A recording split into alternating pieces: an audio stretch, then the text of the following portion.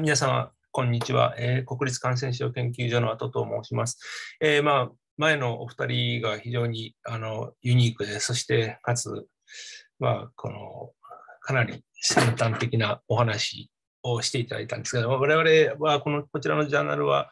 えーと、医学系ジャーナル、まあ、特にその感染症ということで、まあ、まさにコロナ新型コロナウイルス感染症の発生によって随分大きく変わってしまったんですけれども、そこについて、まあ、あの触れながら、そしてまたプレプリントポリシーを、え、最近、え、導入しようというところで、え、伺うとなんか日本で初めてなんじゃないかっていうことなので、逆にこちらがびっくりしている状況であります。それでは、えーと、お付き合いいただきたいと思います。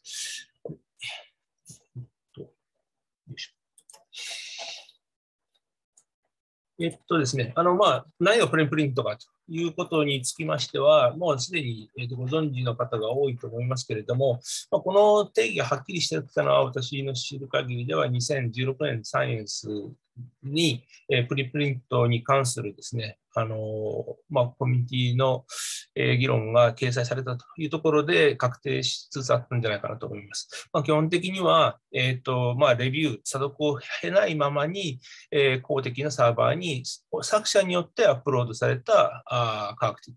論文というような形になるというふうに考えられています。で、まあ、その場合、最近はあの後で述べますけども、非常にえーと、プレチェックというものが、そのサーバーの運営者等によって、えー、入れられているというのが実情かと思います。で、は、簡単に、えーと、プレプリント、特にそのバイオメディカル、えー研究におけるプレプリントの歴史を考えてみますと、実は、まあ、これも、えっと、文献に載ってたわけですけれども、1966年になんとその Exchange Group というのが、えー、ヘルスサイエンス、それからメディス医学というところで、アメリカのあの NIH が運営した、えー、プレプリントというものがあったということですが、残念ながら1年後に閉鎖されてしまう。で、まあ、まあ、皆さんよくお分かりなのは、その物理あるいは、えー、数学分野におけるアーカイブが1991年に、まあ、コーネル大学で運営が開始されて、そしてこれは今も非常にその、まあ、威力を発揮したあものであるということになっているわけです。で、あの2007年に、えー、ネイチャー・プロシーディングスというのができましたけれども、こちらも2012年に閉鎖されています。まあ、同時に OSF プレプリント、これはあのセンターオブオープンサイエンスがまあ作ったわけですけど、こちらはまあ現在も、え、と大いに活動されていると。そして先ほどの話にもありましたバイオアーカイブですとか、えー、とメダアーカイブというのは2013年、それあるいは2019年にできたと。で、ピア j もありましたけど、これは2019年に、え、と亡くなっていると。で、まあ、ちょっとユニークなのはケムアーカイブですけども、これは、えーと、5つのあの科学学会が、5つの国の科学学会があの合同で運営をしているというところです。で、まあ、最近になりますと、その、えー、ローカルな、えー、分野で、例えばインディアアーカイブというインドでのそのアーカイブだったり、えーと、言語に、えー、基づいたプレフィン、アラビアアーカイブといったものもできていると。それから、えー、さらに最近になりますと、特にその出版社が運営するプレプリントサーバーまあ、リサーチすぎや、これは、あの、えー、ネイチャーですけれども、スプリンガーですけれども、まあ、F1000、あるいはアンダーレビューといったものも今認められているところです。で、まあ、この2016年の ASA アサップバイオミーティングというのがあって、でそこでその、まあ、それぞれのですね、ステークスホルダーが集まって、えーと、議論をします。要するに我々、あの例えば、まあ、アカデミアですね、研究者から先ほど高井先生が言われましたけども、どういう、まあ、利益、あるいは特徴があるのか、それから、えー、配分期間、まあ、JST は配分機関の一つですけれども、そういったところではどういう、あのプレプリントはどうなのか、それから、まあ、ジャーナルの運営者としてはどうなのかというところの3つの部分を持ち寄ったと。いうところになりますけども、先ほど言われたように、まあ、あの科学者としてはその、えー、論文の成果というものが直ちに利用できる。それから、まあ、非常にプライオリティというものを出せるということもありましたし、まあ、あの SNS でバズったという話ありましたけども、マニスクリプトについてコメントあるいはコミュニケーションであの査読を経なくてもですね、十分にその、えーまあ、反応があって、それをさらにあの精緻化させられるというところ、それから time point stamp がつきますので、まあ、プライオリティを判断できると。で特にその若い、えー科学者というものに対して、例えば申請になかなか査読、えー、と時間かかるようになりましたので、えー、昇進ですとか、 career development とか、 grant の申請といったものに、えーと、速やかに使えるというところは非常なこの、え、ベネフィットであろうというところです。で、え、ー、と、まあ、配分期間としてはですね、こちらについては、確かにその、えっ、ー、と、応募者のあのアイデアっていうものが非常に正確に、そして、あの、まあ、オンタイムで見ることができるということ、あるいはその、まあ、申請者の成果というものが、のプログレスというものが、まあ、すぐ評価できるというようなところ。それから、まあ、ネイチャーがとかサイエンスというお話もありましたけど、そのジャーナルのネームでいうようなバイアスとかですね、あの雑誌のレピテーションというものについて、そういった判断に惑わされることがないんだということや、確かにその若い科学者、あるいは無名の科学者というものに対して、えーと、これは十分に非常にいいんじゃないかと。でただし、えーとまあ、いくつか懸念もあって、えーと、そのやはりそのお話にあったクオリティの問題。それからさまざまなその、えー、その一つの論文の成熟段階の、えー、ものがあって、そのバージョン管理というのがちょっと問題が大きいな。それからレビューは、この、えーと、グラントの作読者にとっては、それをいちいちチェックしていくのが非常に、えーとまあ、重荷になっているということになったわけです。ですから、そして、まあ、要求するのは、そのグラントレビューアーがそのプレプリントマインスクリプトに、えーと、きちんとアクセスできるということを保証してほしいというのが、その時の、えーとまあ、配分機関の意見だったんです。一方、あの雑誌社として、まあ、これがまあ私の立場ともなるわけですけれども、えーと、このピアレビューとプレプリントっていうのは、もうそもそも目的が全然違うんだということを、えーとまあ、当初の段階ではそういうふうなものがある。プレプリントっていうのは、まあ、初期段階において、えーと、こういった科学的な知見であるとか、えー、成果というものをシェアしたい。そして、その選手権というものを表明するんだという、プライオリティという部分が非常に大きいというふうになるわけですけども、まあ、ピアレビュージャーナルっていうのは基本的には科学の進歩に貢献するんだと。まあ、古い言い方かもしれませんが、ということは、どちらかというと再現性であったり、まあ、コレクトネス、あの正確性であったり、それからあのデータの完全性であったりということを重視してくると。こういうところはプレプリントと相反する目的にあることもあるということになるわけです。ですから、あの、えー、ただ、もうその今、プレプリントというものをなかった時代に戻るということも絶対できないわけですから、えーと、むしろそのプレプリントというのは一つレビュープロセスもアシストするんだと、あるいはその助ける一つのプロセスの一つというふうに、これはあのさ一番最初にあのお話もありましたけども、という考え方も当然成り立つということになります。で、まあやっぱりその一つのコンサートとしては、とにかくこのバージョニングというものが、特にその雑誌を運営している場合には非常に問題がなってくるんです。ですね、最終バージョンというものが、当然雑誌でピアレビューを経たものにならなければいけない。で、そこの、えーと、管理、えー、あるいはその運営というのをどのように、えーと、維持するかと。これがあの非常にその雑誌を運営していて、まあ、難しいところになると。それから、あの高井先生もちらっと言いましたけれども、例えばそのまあ、特に医学関係ですと倫理、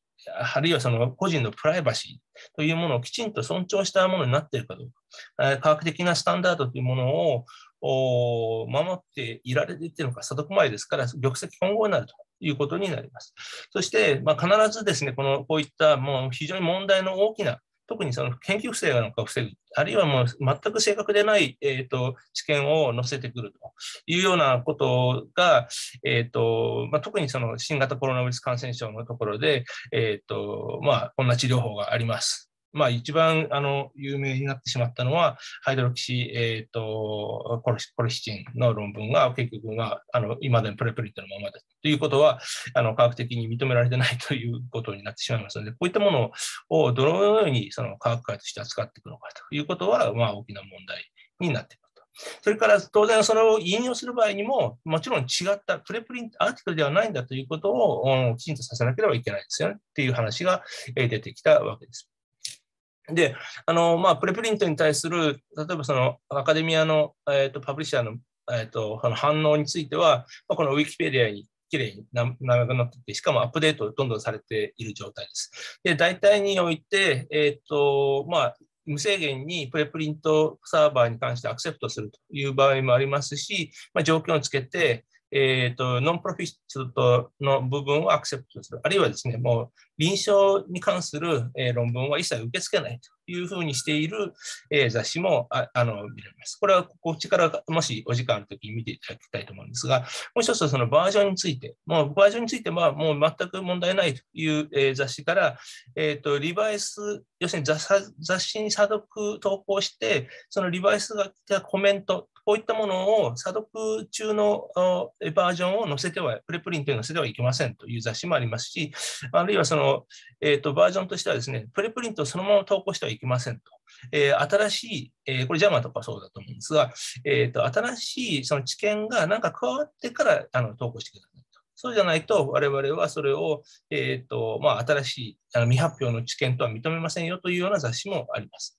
で、えー、ライセンスについても、えーと、これはですね、まあ、雑誌にも書きますが、全く問題ないというところから、まあ、オープンアクセス、えー、にチャージする、あるいはその CC by NCNG にしてくださいとか、そういったようなところも様々にえー、なっているというところです。で特にこのクリニカルが非常に厳しく言っているのは、この整形外科の状あるいはですね、放射線科の雑誌では、こういったものについてかなり厳しく対応しているというのが現状ということになります。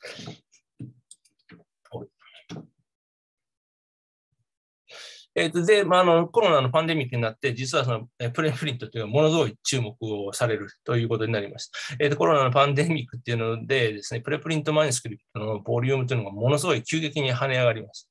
えー、特にそのコロナ、新型コロナウイルス感染症に関する、まあ、ケースレポートから、えーと、疫学、それから、まあ、臨床の臨床研究といったようなものも様々に出てきたのは皆様も、えーと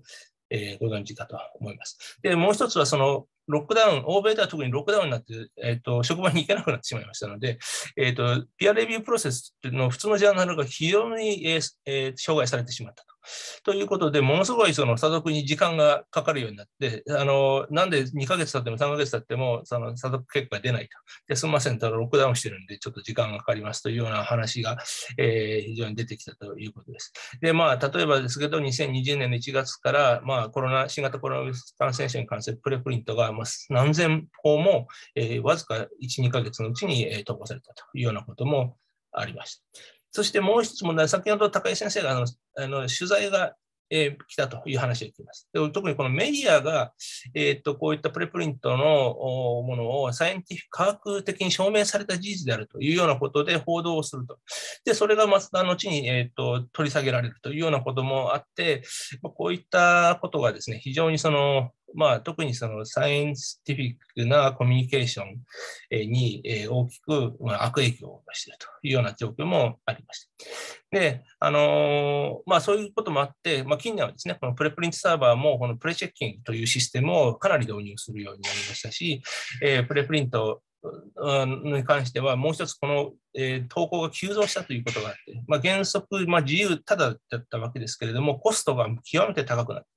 まあ、いろいろのそのファンディング等ですね、あのえー、こういった資金を集めるようにしてはいますけれども、ネイチャーにも、えーと、かなりですね、えーとまあ、資金的に苦しくなってきたので、まああの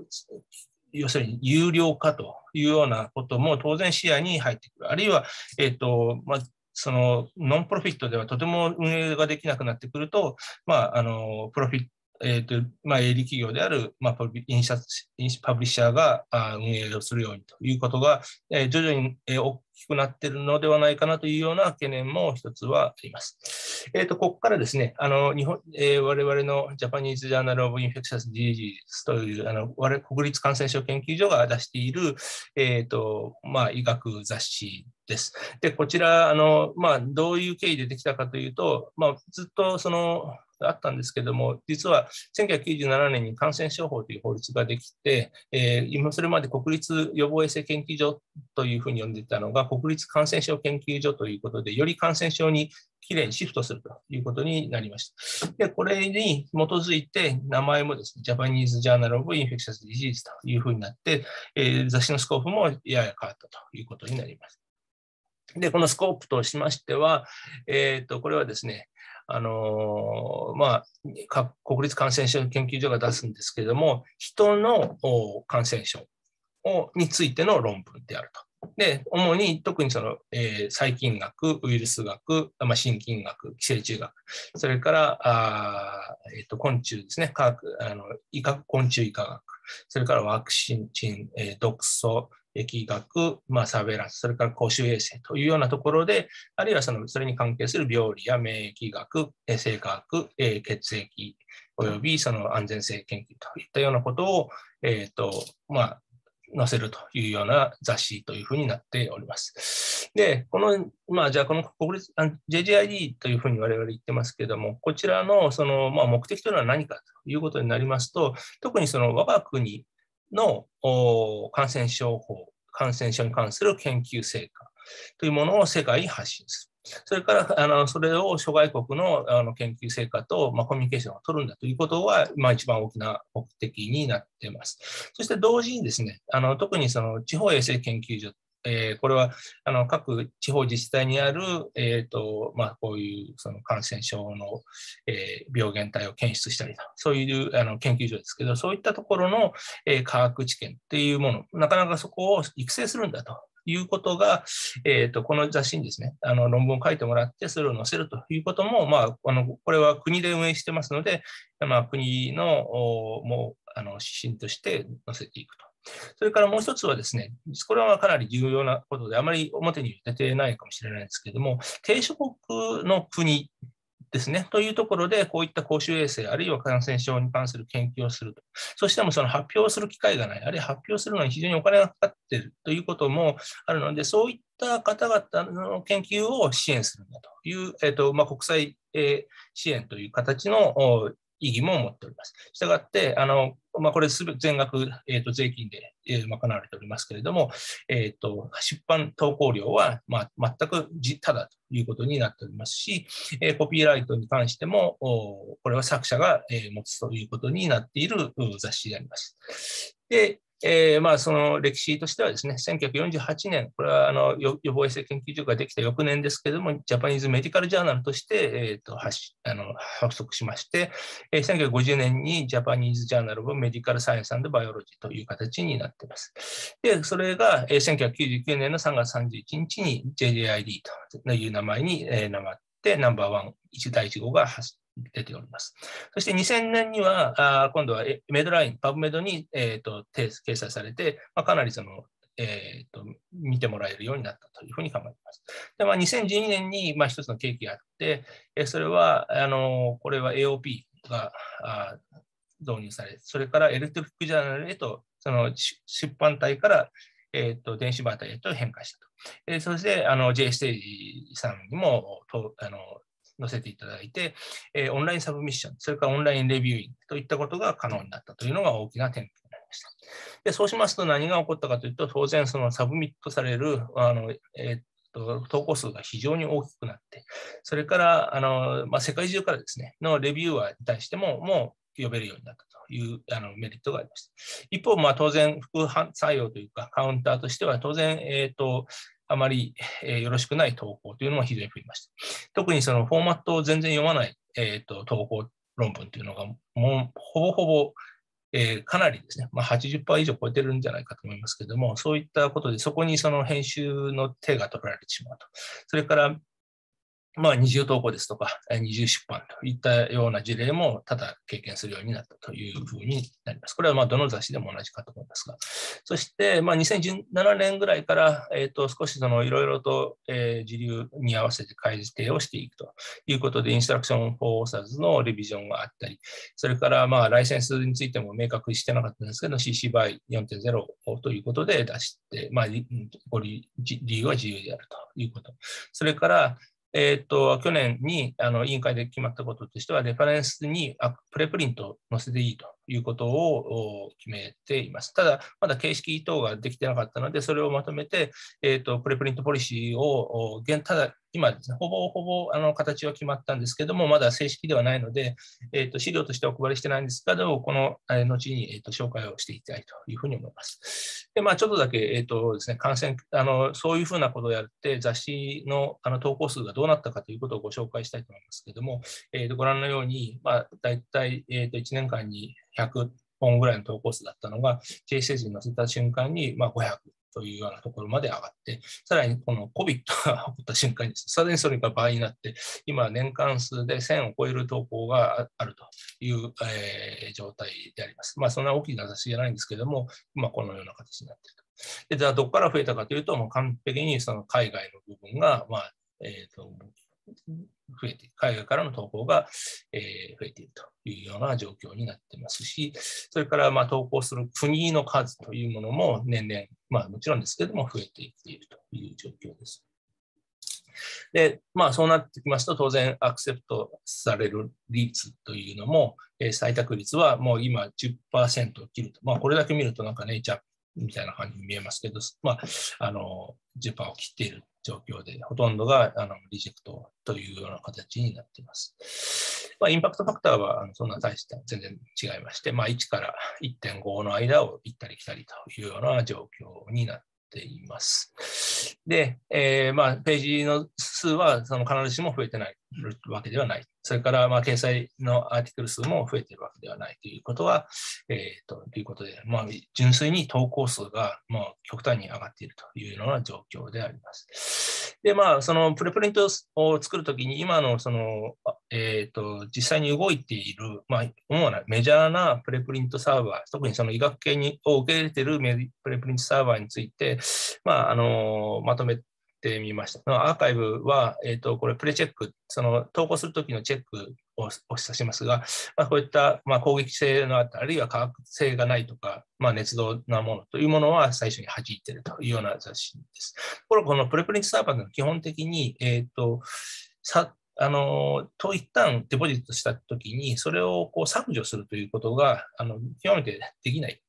というあのところはあります。もちろんそのウィズドローできる、できないということはあるんですけれども、実際は、まあ、ウィズドローをはっていうマークがつくけど、あのあの実際はあの消せない。あるいは、まあ、消してもいいけど、メタデータは当然残りますというような、えー、とものもあります。で、まあ、あのリサーチスケアなんかはもちろんそのスプリンガーでネイチャーですから、あの非常に厳しくですね、まあ、英語がいいのかとか、オリジナリティがあるかないかとか、えっ、ー、と、ディスクロージャーがどうな、要するにメディアのあのに対して、えっ、ー、と、取材を受けてしまってるとか、そういったことそれからエシックですとか、プライバシーの問題、リスク、あの、要するに公衆衛生に対する影響というものをかなりチェックしてます。まあ、他のところは、まあ、そうではな。い、非常にその危ない部分だけというような形になっています。で、一番ちょっと我々、その、まあ、ど、ここはどうなのかというのが、そのマルチプルポスティングの問題がありまして、まあ、もちろんその、あの、基本的にはマルチプルポスティングというのは、そのバージョン管理だとか、えっ、ー、と、まあ、正確性、データの正確性ど、どれが本当なのか、最終版なのかということを考える上では、非常に大きな問題になってくる可能性がありますが、えっ、ー、と、アーカイブに関しては、ノートレコメンドと、あの、まあ、や推奨しませんということになってますし、えっ、ー、と、ところがリサーチスケアなんかはもうどうぞあのマルチポストだろうが何だろうが、いくらでもやってくださいというような、えー、形になってますので、こうなると、それが、まあ、その雑誌に投稿されたときに、どのようにその管理できるかというような問題になってくるという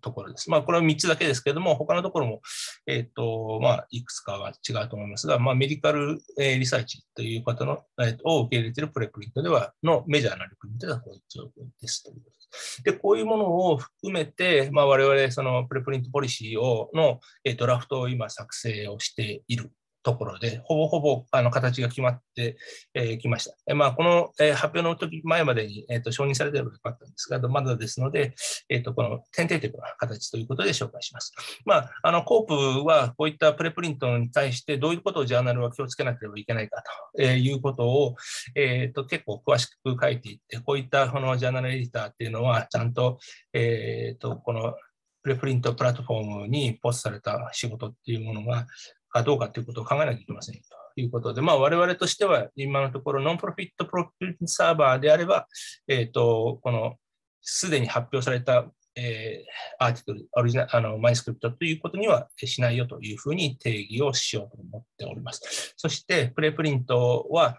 えっ、ー、と、レビュープロセスの、えっ、ー、と、これ JJID はあの基本的に著者に著作権がありますので、いかなるところでも、えっ、と、ポストしていいということになって、あの、まあ、アクセプトされるまでまではですね、ポストっていうことにしております。えー、で、まあ、もちろんそのこういったプレプリントにあること自体が何かその、えーと、バズってるからあのいいとか、そういうことではなくて、全く純粋に査読をするというふうに、えー、なっています。で、続きとしては、さらにその先ほどのポープのところで、まあ、あの、要するに、えー、まあ、このサブミッションに時に、まあ、プレプリントのコピーっていうものをきちんとその申告しなければいけませんと。ここはまあ非常に大事なところだと思います。で、まあ、あのこの中にも、えーとですねまあ、これほとんど他の雑誌とも同じだと思いますけども、えーと、カバーレターの中に、え、きちんと,、えーと、このプレプリントをどこに、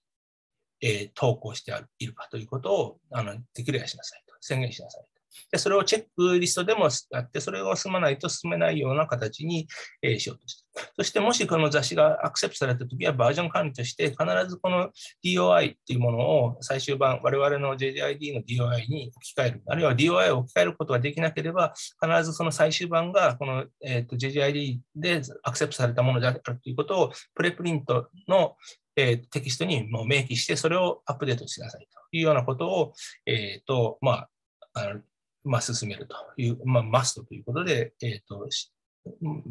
やっていただくということを考えています。で、まあ、コピーライトについては、これはあの DJID はあの他の商業雑誌と違いまして、えーと、コピーライトはあの基本的に作オーサーに属するということなので、オーサーは、えーと、プレプリントサーバーにポストするときに、コピーライトは自分にあの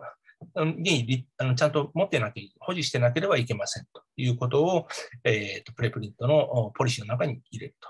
それからプレプリントのサイトの仕方については、えーと、プレプリントであることが明確に分かるように、えーと、作しているということを、まあ、これがまあ原案ですけども、まあ、こうやって、これは多分、えー、とパブメドと同じような形になりますが、プレプリントのさあの DOI がついて、それでプレプリントであるということで、えー、とこれはコンファームサイエンティフィックにピアレビューを経てコンファームしたものではないということで、えーと、作者が、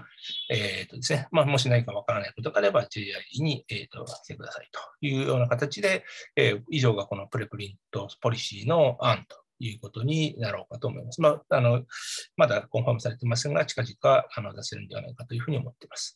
で、まあ、これ最後になりますけども、おとは時間としてもちょうどですね、あのえーと、プレプリント、えーとまあ、新しいビジネスモデルになるのかというようなところは、最近の、えーと、プレプリントをめぐる議論でもたくさん出ています。特にその先ほど言ったそのサーバーがどんどんどんどん溜まってきてですね、コスト、運営コストがかなりあったかとなると、ゆくゆくはやはりその有料化ということ、あるいは商業化ということを考えなければいけないんではないかと。で、まあ、そういうちょっと懸念するものが、雑誌社が運営するプレプリントサーバーっていうのは、やはり自分たちの運営する雑誌に投稿っていうものにかなりその便宜を図れるような形である。それは、いわゆるその囲い込みというものに、有料な、えーと、マイスクリプトの囲い込みにつながるんではないかと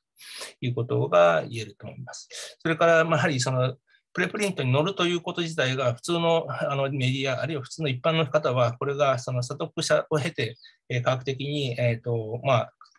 あののコンセンサスを得たものということとは同じに見えているのは、そういったことに対するサイエンスコミュニケーションというものを発達させなければいけないんじゃないかと。えー、それから、まあそうまあ、先ほど高井先高井先生も言いましたけども、アカデミアとそのサイエンスのシームレスサービスというものを、えー、担う可能性も十分にあるいうふうに一方、そのピアレビュージャーナルとしましては、やはりエディトリアルオフィスに非常にその負担、あプレプリントを受け入れるということは、あのある意味大きな負担を持つということで、その、コストをどのように、考えていくかということ。それから、ま、ピアレビュージャーナルとこのプレプリントっていうものが、ま、最終的に、えと将来的に統一をしていくのか、あるいはですね、まあ、非常にまた面白い形でのその進化というものを成し遂げるのかそういったことを考えながらですね、プレプリントジャーナルの役割も変わってくるかもしれないし、あるいは融合するような、えー、とものというものもできてくるのかもしれないし、まあ、そのあたりはですね、やはり議論が必要なのかなと。でも僕最後に言いたいのは、日本でおいては、これ、もうもう海外ではかなり議論されて、いろいろな試みがなされているところですが、まあ、日本はもう周回遅れを通り越して、2週ぐらい遅れているんじゃないかと。まあ、これからそのえ J ステージで、えプレプリントを作っていただけるということですので、これらとの議論がですね、さらに深まって、まあ、この科学っていうものに対する、あるいは情報発信ですね、に対する考え方っていうのが、えー、と成熟、日本でも成熟していくと、こういうことをあの考えております。まあ、ちなみにこれはあの個人的な考えで、JJID の考え方ではございません。あのお断りさせていただきます。え、最後になりましたけれども、あの、じゃあ、え、JJID のオフィイタリアオフィスの、え、方々に非常にお世話になりましたし、一部のスライドは、あの、全然、えーえー、編集委員長である倉野先生からご提供いただきました。えー、私の話は以上です。どうもありがとうございました。